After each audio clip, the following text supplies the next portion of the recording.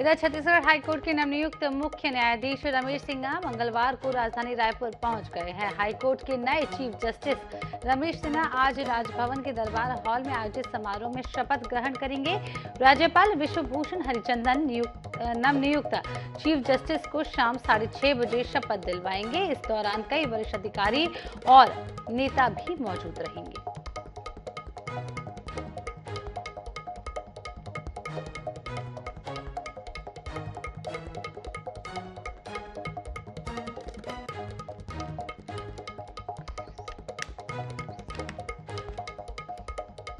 Thank